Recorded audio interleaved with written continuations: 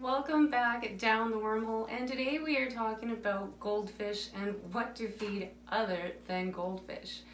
I have got five piranhas downstairs that are definite predators and I'm sure you guys have got some other wonderful fish that love eating feeders. Now, goldfish aren't the greatest feeder out there for a few reasons. A, goldfish are very fatty. No, uh, sorry, don't listen, Casey. But they are a very fatty type of goldfish, and too much fat can also lead to fat fish, fat predators. Not something that we're trying to get when we have our pets, if we want them to be happy and healthy.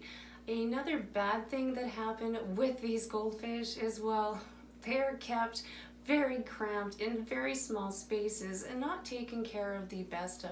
This leaves them open to different parasites, worms, and all sorts of things that you are now transferring into your fish's tank. That is not the greatest thing to have going into their bellies when some of these worms, that's where they live, is in their bellies. So to avoid this, there are some other things that you can definitely feed them. One of the main things that I think are bad for goldfish and their being feeder fish is that they have a thiamine inside of them and that thiamine will prevent the absorption of your B1 vitamin which is a very essential vitamin for basically anything. It can lead to anorexia and other awful behaviors and just generally get your fish sick over time especially when combined with the fat. So let's look at some other things that we do feed the piranhas in this house.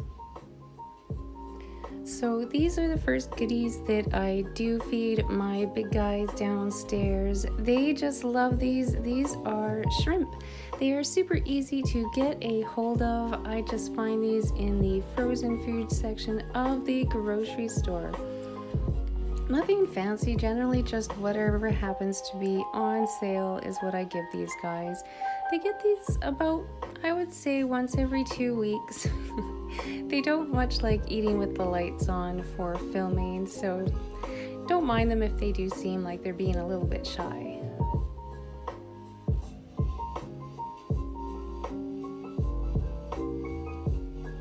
One of my favorite things to feed my piranhas, which is also a big food for a lot of predators out there, is insects. I have my own feeder insects and you can also buy these at most stores as well.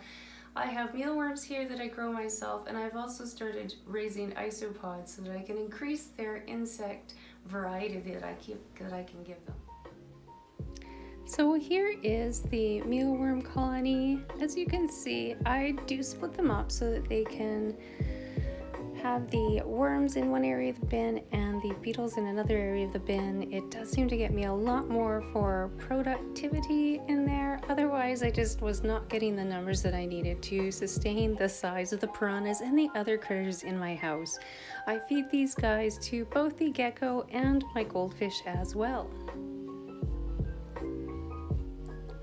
These are some of the new isopods that I've picked up. The colony is doing just amazing and they're super easy to feed and raise as well. A little pinch of fish food here and there, some dried leaves, and away you go with another healthy variety of insects to feed your critters around your fish room.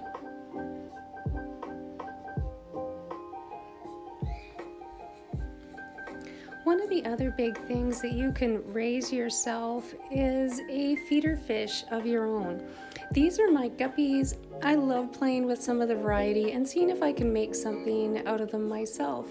But you can also go to the pet store like these and pick up other types of live bearers such as platies, swordtails, mollies. There's lots of different things that you can raise and try. Just whatever you think looks pretty. Of course, one of the other main things that you can feed your big guys is there are a ton of pellets and foods out there. Lots of different ingredients. Make sure to check the size of the pellet to make sure that it will fit your feeder fish and that the formula that you pick is something suitable for your critters. That's it. Thanks for watching. I hope you guys enjoyed this video and I'll see you guys next Friday.